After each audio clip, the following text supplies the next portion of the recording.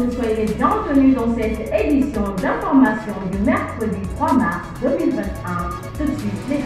Magistère universel, prière du pape pour le sacrement de la réconciliation au cours du mois de mars. Annonce du cardinal Paroli. Le pape François va porter l'espérance du dialogue en Irak. Magistère local, la redécouverte du sacrement de réconciliation par une religieuse.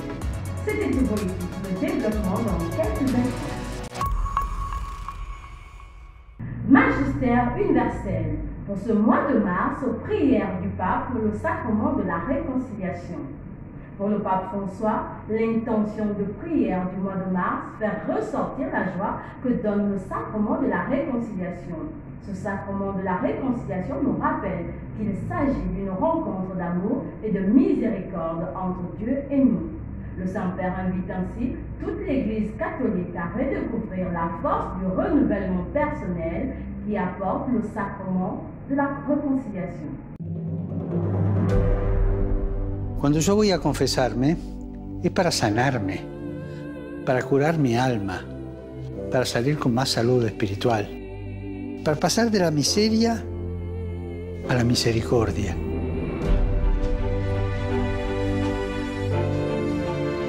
El centro de la confesión no son los pecados que decimos, sino el amor divino que recibimos y que siempre necesitamos. El centro de la confesión es Jesús que nos espera, nos escucha y nos perdona.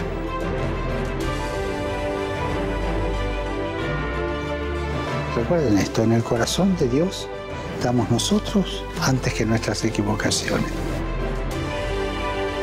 Y recemos para que vivamos el sacramento de la reconciliación con renovada profundidad y para saborear el perdón y la infinita misericordia de Dios y recemos para que Dios dé a su iglesia sacerdotes misericordiosos y no torturadores.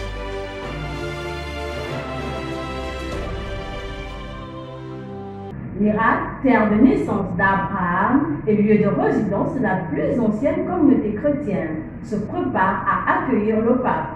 C'est l'occasion pour ce pays qui fait face aux divers mots d'avoir un message d'espoir qui sera tourné vers l'avenir, déclare le cardinal Parolin, secrétaire d'État du Saint-Siège.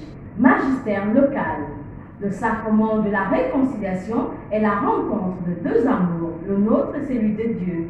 Pour les chrétiens, c'est le moment propice pour retourner à la table du Seigneur, mais encore de se réconcilier avec son prochain. En ce temps de carême, l'Église conseille de le faire au moins une fois par an. Tu ne sais pas à quoi ça sert de te confesser, ni comment tu n'es pas seul.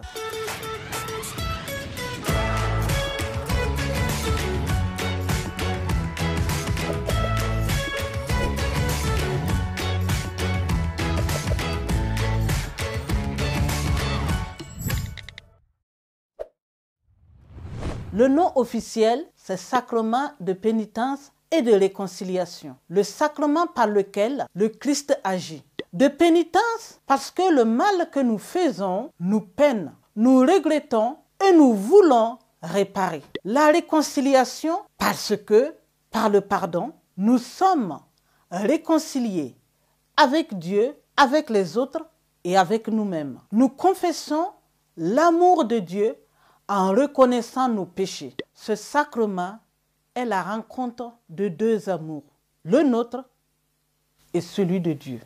Le péché, c'est une rupture de communion avec Dieu. C'est l'éloignement de son amour. C'est aussi la séparation avec le prochain. Si le péché m'éloigne de Dieu, il me sépare des personnes que j'aime.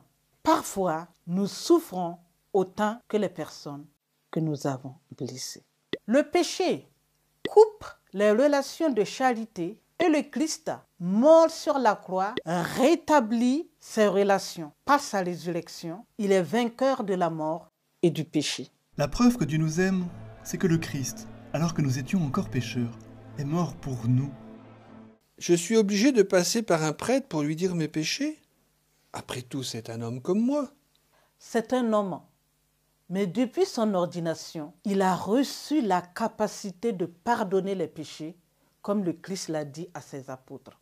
Tous ceux à qui vous remettrez les péchés, ils leur seront remis. Ceux à qui vous les retiendrez, ils leur seront retenus. Or, les prêtres sont les héritiers des apôtres. Et quand est-ce que je peux recevoir ce sacrement? Tu peux recevoir ce sacrement quand tu veux. Pas le maire, c'est le chrétien. Je viens me confesser. L'Église conseille de le recevoir au moins une fois par an.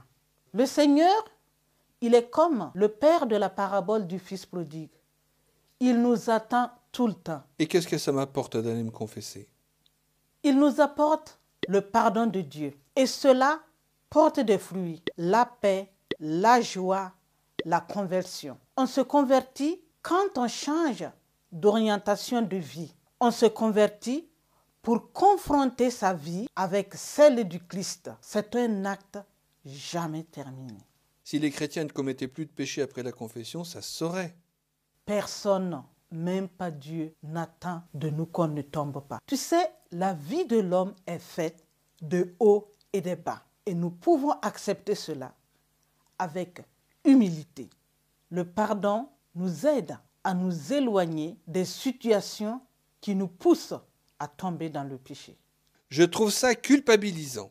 Au contraire, se sentir pardonné, c'est se sentir relevé. Rappelle-toi, le Christ dans sa vie publique, tu te rappelles de Zachée que personne ne voulait fréquenter parce que c'était un escroc. Et la femme adultère qui trompait son mari, quand le Christ les a pardonnés, il les a relevés. Ils ont pu relever la tête. Dieu nous veut heureux et il nous relève. Il ne nous laisse pas dans notre péché. Car je vous aime. Quand je me confesse, je m'accepte tel que je suis, avec mes points forts comme avec mes faiblesses. Mais c'est surtout cet amour de Dieu qui se révèle en moi. Il me montre qu'il m'aime. Au sujet des quêtes impérées 2020-2021, dans la Bible judéo-chrétienne, il y a des femmes qui ont apporté du soutien aux apôtres. Au fil des siècles, cette tradition s'est répandue à travers le monde en faveur des églises. Au Gabon, les fidèles participent le plus souvent à ce tenant de solidarité à travers les quêtes impérées. Ces quêtes peuvent être paroissiales ou diocésaines. Pour ce temps de carême, plusieurs personnes sont sollicitées pour le soutien de nos paroisses de la cathédrale Sainte-Marie. Un programme a été établi en faveur de la radio Sainte-Marie et la quête de solidarité avec les pères et bien d'autres. Société, Lucie Milébou Aubusson, la présidente sortante du Sénat au Gabon, a été réélue et reconduite pour un mandat de 5 ans. Pour mener à bien les missions de la dite institution, elle dirigera une équipe de sénateurs élus auxquels s'ajoutent les 15 nommés par le président de la République. Respect des mesures barrières dans les établissements scolaires.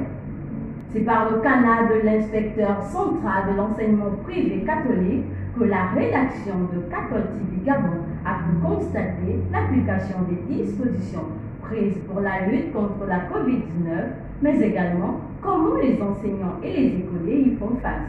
Écoutons les explications de l'inspecteur Jean-Michel Pandy. Bonjour, je suis Jean-Michel Pandy, inspecteur central de l'enseignement catholique. Et pour la situation sanitaire que le monde entier est en train de vivre, euh, nous la vivons un peu comme, un comme tout le monde, avec euh, cette phobie de cette maladie euh, ce petit virus invisible qu'on ne sait pas comment stopper euh, la, la, progression, et ben, euh, à l'inspection centrale, bon, comme toutes les administrations, on a pris les, dispositions qui s'imposent, notamment avec une touche de lavage de main juste à l'entrée. Et, chacun des, agents a son petit gel avec lui. Et puis, ben voilà. Et puis, les bureaux, étant donné que chacun a pratiquement son bureau à lui, et ben, chaque personne évite de, de, de trop se rapprocher de l'autre, bon, ben, on ne sait jamais. Ben, même si on est tous les jours ensemble, on ne sait jamais. On peut avoir chopé le virus dans un transport en commun.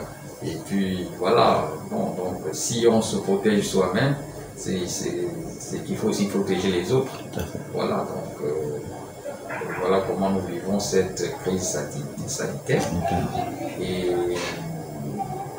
la crise sanitaire se passe aussi dans notre tête. Euh, c'est que, bon, ben, on se dit, mais comment la stopper comment, comment, stopper cette crise Mais, eh ben, le plus souvent, euh, nous, nous, nous, confortons en nous disant qu'il faut simplement prier. Et voilà, et puis on prie, on, on se dit que, ben, ben, étant enfant de Dieu, ben, espérons que nous ne serons pas contaminés. Voilà, tout en prenant les précautions, bien sûr, parce que c'est aussi ça. Hein. Il faut se préserver d'abord et, tout, en faisant confiance en Dieu. Voilà ce qu'on peut dire actuellement pour cette crise sanitaire. Oui, mais pour ceux qui pensent que la maladie est irréelle, eh bien, ils se trompent. Parce que le plus souvent, euh, c'est quand elle fait plus de dégâts à côté de soi qu'on prend conscience. Et là, quelquefois, on prend conscience trop tard, si soi-même on est déjà contaminé. Alors donc, euh, rien que par, en apprenant que la maladie fait rage ailleurs, hein, et même dans notre pays, alors donc il faut prendre conscience et se dire que ben, si les autres prennent conscience, pourquoi pas moi? Alors donc euh, tout le monde devait prendre conscience et puis prendre euh, les mesures barrières qui sont mises en place à cœur pour se préserver et puis se dire que bon ben nous ne sommes pas responsables de notre vie, c'est Dieu qui donne la vie et Dieu ne nous dit pas aussi de la mettre en danger. Dieu nous demande de la préserver et donc on peut la préserver si c'est pour simplement laver les mains, avoir son gel, avoir un masque alors pourquoi pas préserver notre vie pour le faire hein, Comme ça, Dieu se, on montrera que nous sommes bien les enfants de Dieu, puisque nous préservons la vie qu'il nous a donnée. Somme du jour. L'Église universelle célèbre aujourd'hui Sainte Cunégonde, impératrice germanique. Originaire de Luxembourg, Cunégonde grandit dans une famille qui lui transmet la foi et les vertus chrétiennes impératrice et épouse exemplaire de Saint Henri II, avec qui elle va se déployer pour le développement de l'Église en Allemagne. Un an après la mort d'Henri II, en 1024, Cunégonde donne une relique de la Sainte Croix au monastère de Kaufungen et se débrouille de ses habits royaux pour revêtir la vie religieuse bénédictin. Elle s'enferme dans le même monastère où elle va se consacrer aux jeunes tout en apportant du réconfort aux malades. Elle meurt en 1033 ou 1039 et est canonisée en 1200 par Innocent III. Très chers téléspectateurs de 4 du Gabon, ainsi que se referme notre édition d'information ce mercredi 3 mars 2021. Nous vous remercions de l'avoir regardé. Rendez-vous demain à 10h pour nous la chanson du Jésus. En retour, les deux enfants de notre Église gardons la foi, l'espérance et la charité.